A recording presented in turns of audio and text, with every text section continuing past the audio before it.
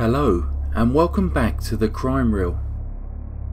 Today, on the Crime Reel, we shall be visiting Hertfordshire in England to look at the life and crimes of Graham Frederick Young. As is so often the case with true crime stories, Graham's start in life was not a good one. He was born on 7th of September 1947 in Neasden in Middlesex. Whilst his mother, Bessie Young, was pregnant with Graham, she developed pleurisy and died of tuberculosis when Graham was just three months old. His father, Fred Young, was devastated by her death and felt unable to care for the newborn Graham and his elder sister Winifred, who was eight. The family was separated, Graham was sent to live with his aunt and uncle, Winnie and Jack. Meanwhile, his sister was taken in by their grandparents, and their father, Fred, lived alone. For the first two years of his life, Graham was raised by his aunt and uncle, but in 1950 his father remarried and decided to reunite his family.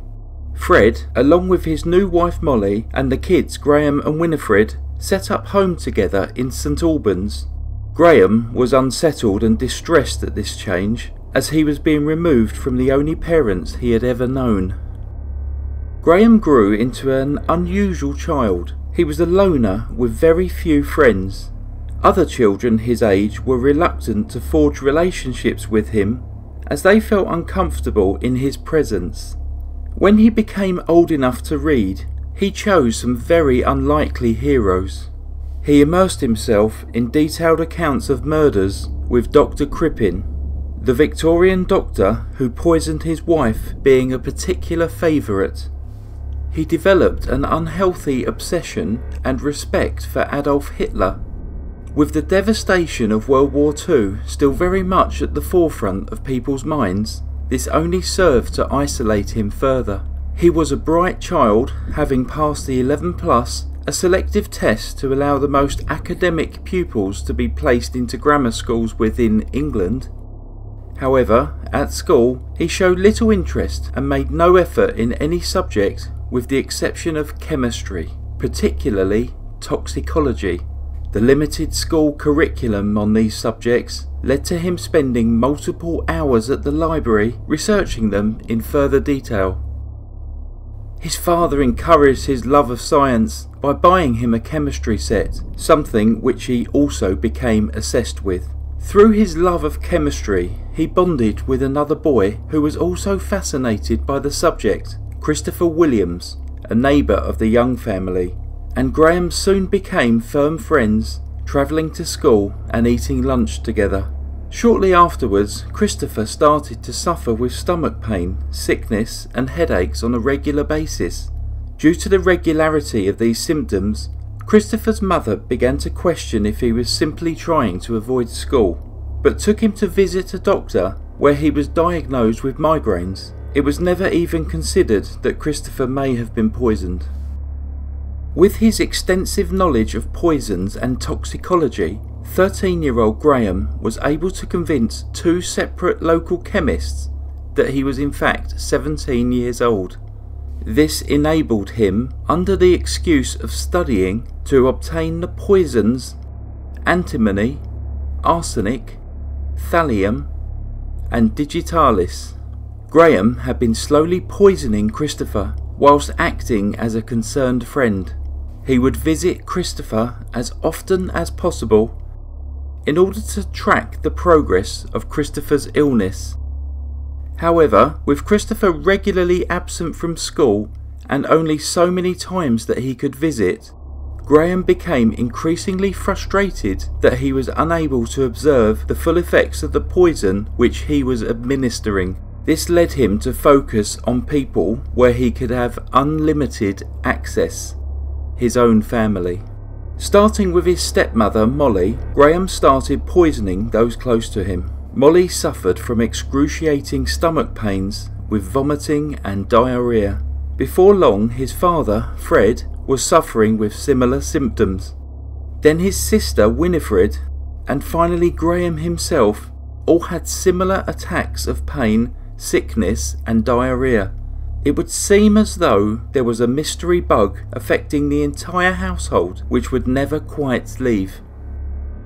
With no logical reason for the repeated illnesses, Fred became worried that Graham may have been inadvertently hurting the family with his careless use of chemicals. It never occurred to anyone that this could be deliberate, particularly in view of the fact that Graham himself had been ill as well. However, while Fred, Winifred, and Graham's symptoms would come and go, Molly's became progressively worse. She started to suffer with severely bad back pains, her hair began to fall out, and she lost a lot of weight.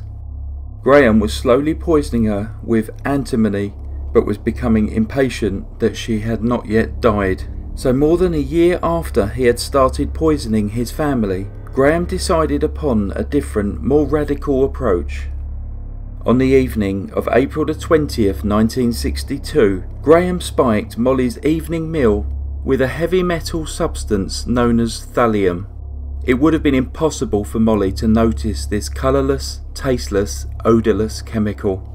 On April 21, 1962, Molly woke up with different symptoms to usual. She had a stiff neck and was suffering with pins and needles in her hands and feet. Despite feeling incredibly ill, she persevered with her daily routine. But when Fred returned home that day, he found her collapsed in the garden, writhing in agony. Graham was simply watching her. Molly was rushed to hospital, where she died later that evening. Her cause of death was put down to a prolapse of a spinal bone, and she was soon cremated. A prolapse bone at the top of the spine is one of the known symptoms of long term antimony poisoning, but there was no reason to consider this at the time.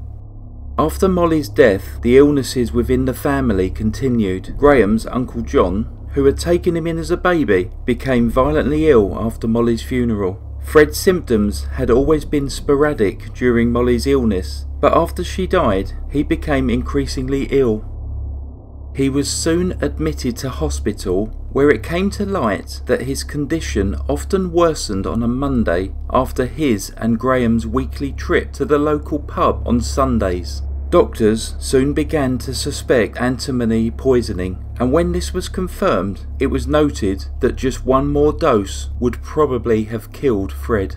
Whilst the thought of a 14 year old boy slowly poisoning his family members was too difficult to bear, Geoffrey Hughes, Graham's science teacher, was becoming suspicious. He searched Graham's desk and found several bottles of poison, as well as details of famous poisoners and drawings of dying men. He reported his concerns to the school's head teacher, and they in turn contacted the police. On 23rd of May 1962, Graham was arrested and confessed to the attempted murders of his father, sister, and friend Christopher. As Molly had been cremated at Graham's suggestion, it was impossible to analyse her remains, so he was not held accountable for her murder. He was assessed by two psychiatrists who diagnosed a personality disorder and schizophrenia and was detained under the Mental Health Act in Broadmoor Hospital. He was the youngest inmate in nearly 80 years. The original sentencing stated that he should be detained for a minimum of 15 years. However, in June 1970, the prison psychiatrist recommended his release stating that Graham was no longer obsessed with poisons, violence, and mischief. He had served just nine years. During his time in Broadmoor, Graham had in fact spent a lot of time studying medical texts and extending his knowledge of various poisons. He continued to experiment on inmates and staff, and it is believed that he was able to extract cyanide from bushes in the hospital grounds that he used to murder a fellow inmate. It is also reported that shortly before his release, he told one of the nurses that he was going to kill one person for every year that he had spent in Broadmoor. Despite this comment being recorded at the time, Graham was still released and deemed to be no longer a danger. Upon his release, Graham was greeted by his sister Winifred and her husband Dennis. Winifred was keen to believe that her brother had made a full recovery, although their father refused to forgive him for the death of his wife Molly and the long term effects he had suffered as a result of his poisoning. Despite the fact that the hospital had labelled him as cured, Graham continued to be obsessed with his past crimes. He visited the chemist where he had originally obtained his poisons and his old family home in Neasden and seemed far more concerned with being recognised for his crimes than to show those who knew him that he was in fact a reformed man. Shortly after his release, Graham moved to a hostel and began working in nearby Slough. It was at this hostel that Graham met 34 year old Trevor Sparks. Trevor soon began suffering extreme stomach pain and sickness. His symptoms continued to worsen, and he was eventually hospitalised, where doctors failed to diagnose his illness. He continued to feel extreme pain for years afterwards. It is also rumoured that another man, who was befriended by Graham, developed an illness with such excruciating pain that he took his own life. A formal connection with Graham has, however, never been made. Graham found a job working as a storeman at Hadlands, a photographic supply company in Bovingdon. His new employers were made aware of his criminal past and Broadmoor stay, but were not provided with any details. They had no idea that he had a history of poisoning. Graham happily accepted the role of making tea and coffee for his workmates. Soon, Graham's 59 year old boss, Bob Eggle, fell ill. He experienced severe cramps and dizziness, which was initially thought to be the Bovingdon bug, a virus that had recently struck a number of local schoolchildren. Other workers complained of similar symptoms, but always seemed to recover when off of work and then instantly became sicker whenever they had returned. Bob was admitted to hospital in June 1971 and just 10 days later, on July 7th, 1971, he died.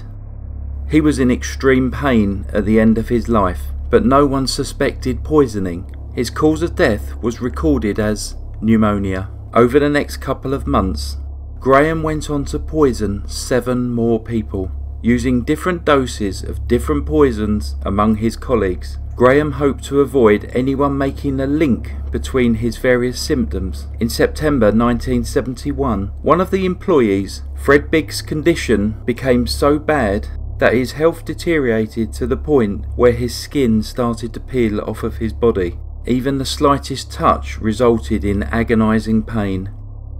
After suffering excruciating pain for several weeks, Fred Biggs died on 19th of November 1971. With two employee deaths in a short amount of time, a meeting was called with the management and staff at the company. The company doctor spoke at the meeting and confirmed that there was no water, radioactive, or heavy metal contamination. During the meeting, Graham questioned the doctor's information, stating that the symptoms suffered by the employees were consistent with thallium poisoning. After the meeting, he then spoke at length with the company doctor, boasting about his knowledge of toxicology. This knowledge and interest raised suspicion amongst Graham's colleagues, who informed the police. With the police involved, the details of Graham's criminal past soon came to light, a search of Graham's room uncovered walls covered with pictures of Hitler, bottles of poison, disturbing drawings of people in various states of poisoning, and a diary containing the details of those he had poisoned, along with a progression of their symptoms. On Saturday, 21st of November 1971, Graham was visiting his father and Aunt Winnie in Sheerness, Kent, the police arrived late in the evening to arrest Graham. When he was arrested, he had a fatal dose of thallium in his pocket, something which he referred to as his exit dose. When questioned, Graham admitted verbally to the poisonings of his work colleagues and boasted about his perfect murder of his stepmother years before. However, he refused to sign a written admission of guilt, knowing that he could deny all charges when the case came to court. Graham loved the media hype surrounding the case and played up to his sinister image in order to unnerve the jury. The press gave him the nickname the teacup poisoner. The trial began on 19th of June 1972 in St Albans Court. Graham pleaded not guilty and claimed that his diary was a fantasy for a novel which he was writing. He felt confident that he would not be found guilty as his previous conviction was not allowed to be entered into evidence. His arrogance over his superior intelligence made him believe that he would get away with his crimes. One thing he had not accounted for were the improvements to forensic science in the years since Molly's murder. Despite Bob and Fred being cremated, the prosecution were still able to prove that they had both been poisoned with thallium. Ten days later, on the 29th of June 1972, Graham was found guilty of two counts of murder, two counts of attempted murder, and two counts of administering poison. He was given four life sentences. After the guilty verdict, details of Graham's previous crimes were revealed. A visibly shaken jury realised that if their verdict, which was by no means a foregone conclusion, had gone slightly differently, this highly dangerous man could easily have been back on the streets. Graham was imprisoned in the maximum security Parkhurst prison on the Isle of Wight after serving 18 years of his sentence. On the 1st of August 1990, he died at the age of 42. The official cause of death was heart failure, but speculation remains as to whether Graham found an ingenious way to poison himself in his final act of control. That concludes the story of the teacup poisoner, Graham Young. I hope you found that story interesting. Once again, thank you for your continued support. I'll be interested in seeing what comments you leave on this story. Thank you once again for listening to the Crime Reel. Goodbye.